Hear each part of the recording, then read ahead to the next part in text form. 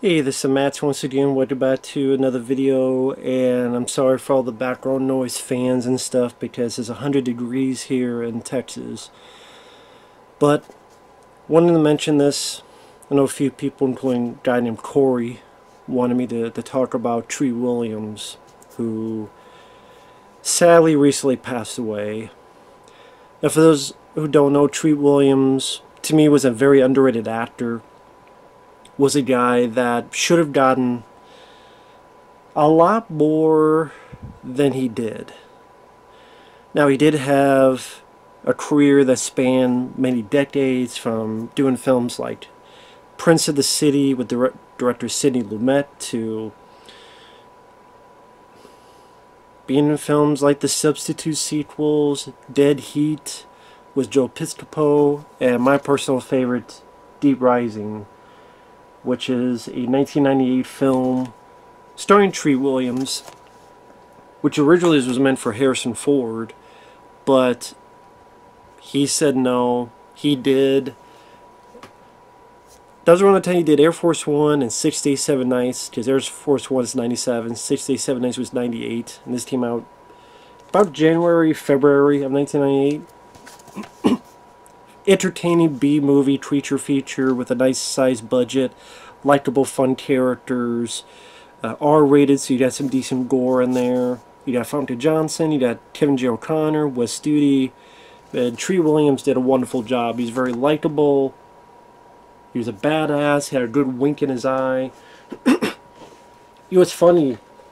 Recently, for another request, I've been playing some of these games. Uh, and the character Nathan Drake. And I would say if you had, if it was the late 80s, early 90s, uh, this guy could have played Nathan Drake. Because you look at this guy here, like right there, that guy kind of looks like, you know, see if I do it side by side, that could work fairly well. And nowadays could have been Nathan Fillion, but of course they choose Tom Holland because bullshit reasons, but anyway. But that said. But yeah, he was also the villain in The Phantom with Billy Zane. Like, he's a guy that whenever he popped up, he would always do a really good job. He was James Franco's dad in 127 Hours. Uh, the substitute the substitute sequels are fun direct-to-video action movies. You know, the first one was in theaters with Tom Berenger, but then Treat Williams did the three sequels. And you could argue that the sequels, especially three, were better than the first movie. I like all four substitute movies, but while I do like Tom Berenger, Treat Williams seemed like he had a bit more fun and was comfortable in the role. Uh, did he did it be a bit hard to watch that because by the end he's playing a zombie and him and anyway I won't spoil it for those who haven't seen it. It's still an interesting 80s horror comedy. Like I said, this is always my favorite. I loved his character. He's a very likable character. Has certain catchphrases like "What now? What?" And it's just sad that this guy, he was 71 years old, and the how he died was some idiot, some moron, some dumbass uh, didn't see him. Treat Williams was on a motorcycle, minding his own business, following the letter of the law like we all should when you're on the road.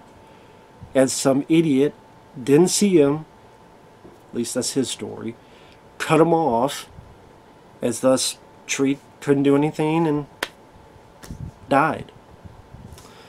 Now, I, I know it was an accident, but I'm sorry, if you're that fucking stupid that you can't see someone on a goddamn motorcycle on the road, uh, you should never drive again. And in my opinion, you should be in jail for stupidity. I'm tired of stupid people being out in the world and walking around. I, I wish stupid people put them in jail. That that's that should be a new law. If you're fucking stupid, you're too stupid to have money, you're too stupid to drive, you're too stupid to have a job, you should be in jail. How about that? That'd be a new law. I think it would save a lot of headaches and a lot of stuff. So, I hope that motherfucker gets jail time. I hope so and uh, whoever hit Treat Williams accidentally, yes I know, but you know, you could go to hell. I don't care. I'll be fucking blunt and honest about this. Treat Williams, number one, good actor, underrated actor. Number two, I'm a fan of his. Number three, seemed like a nice guy. You've only heard nice, kind things. So, of course, it's the miserable, shitty people still around. But the nice, good people, they're the ones that get taken. So, go fucking figure. That's life itself, huh? I know I'm going on a rant, but it's bullshit. You know, that's just how I do it. But yeah. Anyway, just a few words about the guy. I don't know how far in to go into this. Like I said, anytime I saw him, seemed like a good dude. Seemed like a nice guy. And like I said, just a very underrated actor.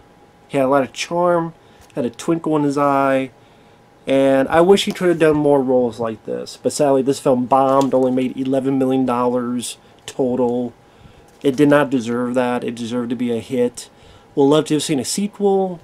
We'll love to have seen more of even just this kind of movies. And just treat, in general, in leading man roles. But sadly, that was very, very few and far in between, other than, again, drama, Prince of the City, which, I mean, good acting, but it's very long. I would say way too long. Because it's like two and a half hours, maybe three hours. Like, it's a very long movie. I don't think they need to be that long. I say the substitute sequels are fun. If you like lower budgeted action movies. And it's a dead heat if you like 80s horror comedies with a bit of special effects, makeup effects utilized into it. But uh, I recently did a commentary for this for a live stream with one of my dear friends, Efrey. It's a great time hanging out with them, and a treat will be missed. So it's a big fucking bummer. And the the guy who hit him, uh, I hope he gets jail time and he can suck my dick and he can go to hell and all that shit. So I don't give a fuck. I'm being blunt and honest. If people don't like it, tough. That's just how I feel. So with that said, thanks for watching. Take care. We'll see you later. Bye-bye.